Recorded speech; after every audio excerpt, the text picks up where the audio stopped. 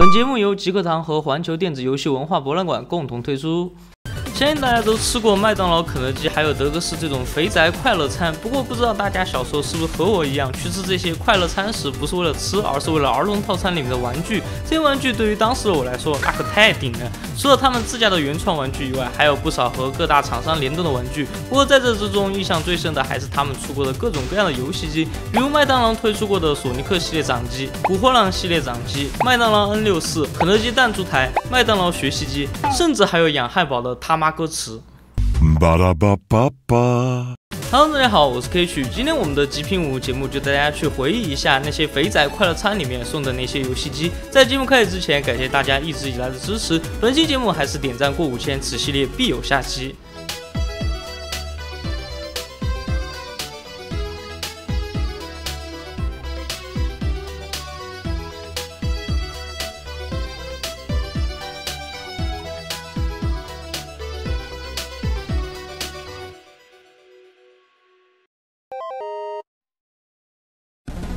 肥宅快乐鸡。这是肯德基和酷冷至尊在2020年公布的主机，号称搭载了酷睿 NUC9 处理器，能支持 4K 二百四十赫兹输出、光线追踪和兼容 VR。但最重要的是，这个主机能通过硬件发出的热量来加热炸鸡。官方的广告语也是让你在游戏的同时可以随时吃到大鸡。起初大家觉得这是一个常见的广告营销玩笑，但没想到这个主机是真正打算推出的。只不过原本准备在去年12月就开始售卖，但到了现在却变成了无限跳票。因为我相信一般玩家看见这个主机的创意，都会联想到这个图。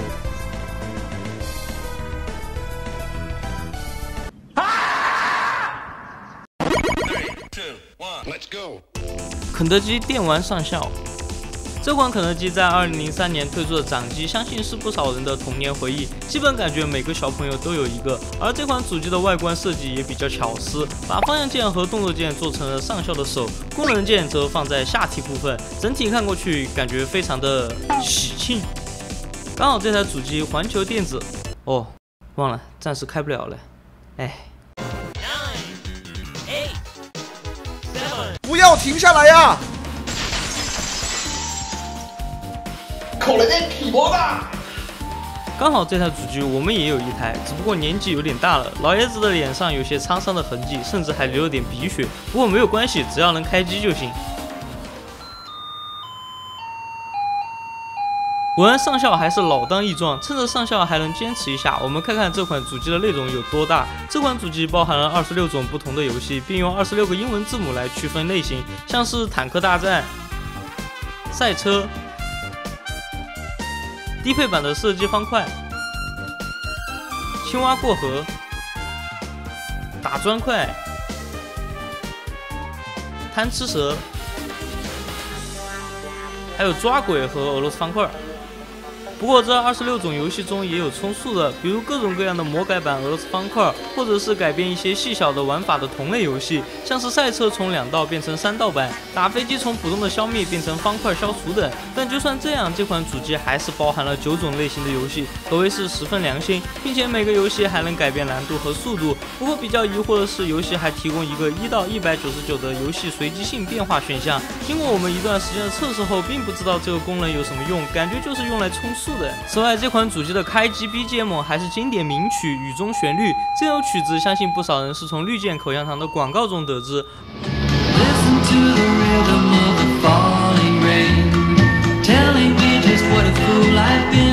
绿箭口香糖含百分之百天然薄荷，使你口气清新自然。而在游戏 Game Over 时的曲子还是美国的民歌《康城赛马》，这样一看，这台 LCD 游戏机逼格立马就上去了。不过有关这台机器的介绍还没有结束，因为这台主机还有一个牛仔版在港台地区的儿童餐里赠送。这个牛仔版一共收录了三款游戏，分别是主角为 QQ 图标的简陋版《马里奥兄弟》，还有一个低配版的炸弹人和一个打飞机的游戏。虽然内容少了点，但都算得上是精品。此外，以前德克士也出过一个类似的游戏主机，但没有肯德基爷爷那么。经典，目前市面上也非常少见。我也有点记不清当时这款主机里有什么游戏了。如果知道这款机器的朋友，可以在弹幕和评论里和大家讨论讨论。肯德基电玩运动乐。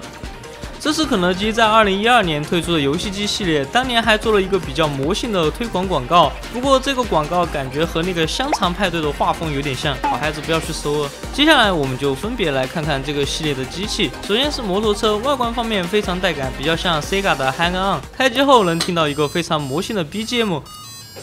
至于玩法方面比较单调，就把你的手指卡卡卡在摩托车上，然后左右摇摆控制方向，躲避来车就行。在途中还会遇到一些加速道具，顺利完成一段路程过后，还会增加游戏的难度等级，玩起来中规中矩。那么来看下一个，下一个也是赛车游戏，不过这个外设就没有刚刚那么炫酷了，反而像一个洗衣机。开机后还是那个熟悉的 BGM。不过这台机器好像有点接触问题，开机后有一定几率会重启。但是这个游戏的玩法和刚刚的摩托车差不多，所以这里直接跳过。接下来是一款音游，但是。果然还是这首魔性的 BGM，一点变化都没有。作为一个音乐游戏来说，有点不举。而玩法方面，就是哪里有音符按哪里。妈妈非常担心我的智力，因为虽然这是一个音乐游戏，但完全没有音乐游戏的感觉。而按下按键后，小女孩的动作也非常死气沉沉的，如果按错了还会扣血。总体来说，这机器非常牙签。最后是这个投篮小游戏，开机后果然还是那个熟悉的 BGM。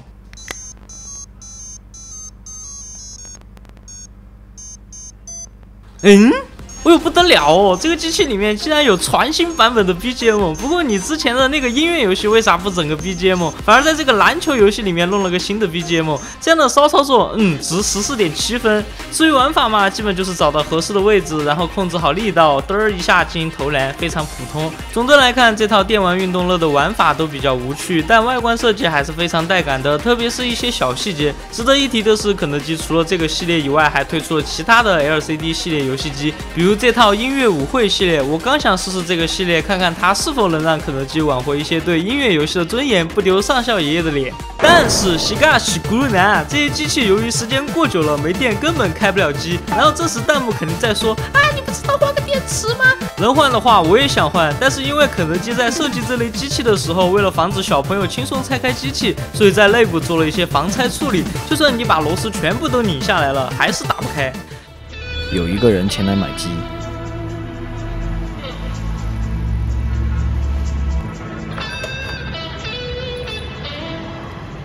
哥们儿，你这游戏机多少钱一个呀？二十块钱一个。我操！你这机壳子是金粒子做的，还是这机板子是金粒子做的？你瞧瞧，现在还有哪儿能卖到这机的啊？而且这些机器都是全新未开封的，你嫌贵，我还嫌贵呢。你这机好开吗？我开游戏机店的，我能卖你崴机器？我问你，这机保开吗？要是这机开不了，我自己把这机砸了，行了吧？行，我全要了。行，这四个机器一共算你七十。你这机有问题啊！你他妈故意找茬是吧？要不要吧？要不要？你看看这破洞啊！另外，你说的啊，这机器要是不好开，你自己劈了它。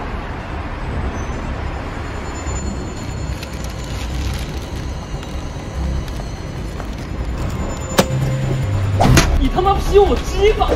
哎呀，操！杀鸡啦，杀鸡了！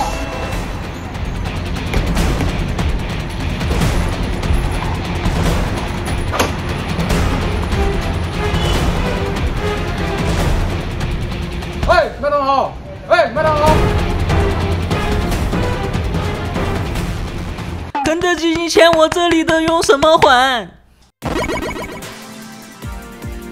麦当劳低级系列。这个系列可以说是完爆肯德基出过的那些小 LCD 游戏机了，因为这个系列做到了真正的体感操作。而且这个系列由于非常受欢迎，麦当劳推出了很多款式，甚至还单独从儿童套餐里面分离出来组成套装单独售卖过，可见受欢迎程度有多高。不过目前这个系列想要完全入手全系列还是比较困难的，我们也只收到了部分。不过这几个收到的版本也能很好的体现低级系列的魅力。首先是这个抓足球的游戏，这个足球游戏是真的可以。抓着玩，而且游戏内部的变化还比较多样。除了时不时会出现双人守门的情况以外，有时还会有奖励关卡。对于一个吃麦当劳送的 LCD 游戏机来说，可以说是相当良心了。接着是保龄球，保龄球和足球的外观差不多，玩法方面比较拟真，是通过滚动中间红色的蛋蛋的力度和方向来进行控制。不过这款游戏的设计就没有足球那么丰富了，变化并不多。那么接下来要介绍的这个网球就厉害了，操作方式直接就是体感的挥拍，就像这样。我之前以为这个东西的原理就是里面有个钢珠来模拟重力感应，和之前的 Top Rider 一样。但是打开后发现它是真的有个重力感应器在里面，而那个钢珠的声音就只是用来增加感觉的。哦，这里嘴一下，麦当劳的玩具不管是拆起来还是换电池方面都非常的方便，不像肯德基的那些老真钞机打都打不开。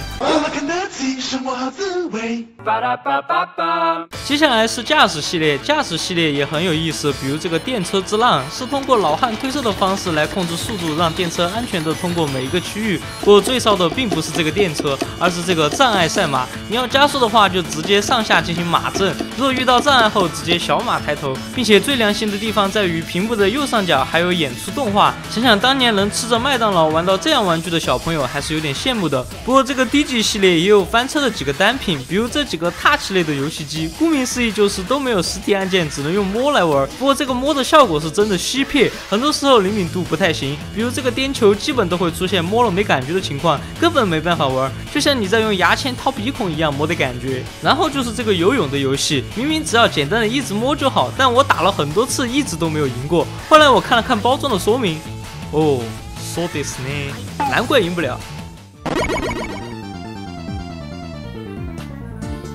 肯德基游戏机盒二点零。这是印度肯德基推出的一个游戏机盒，这个机盒除了能在里面放垃圾食品以外，还能挂一瓶饮料在盒子的上方，而盒子的两边有两个像 JC 一样的手柄握把，玩家只要把饮料的地方替换成手机，这个机盒就立马变成了一台游戏机，哦不，游戏机。虽然这个机盒看上去十分的十四点七，但这个机盒却相当稀有，因为这个机盒是为了庆祝肯德基与百色碳酸饮料品牌激浪达成合作所推出的纪念产品，一共对外送出十份，并且获得方式还是在不存在的社交媒体 APP 上发表对这个机盒的看法来获得抽选条件。此外，虽然这个东西叫二点零，但好像从来没有出过一点零。